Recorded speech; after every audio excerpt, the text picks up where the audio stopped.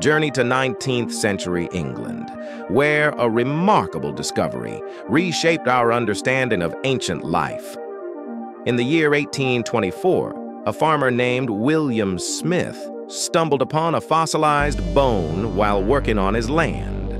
Little did he know this chance encounter led to a ground-breaking revelation, the unearthing of the first dinosaur fossil ever identified. Smith meticulously pieced together the remains, unveiling the mighty creature known as the Megalosaurus. His findings revolutionized paleontology, laying the foundation for the study of dinosaurs. Fascinated by groundbreaking discoveries, Uncover more wonders by hitting that like button and subscribing for intriguing tales from history's annals.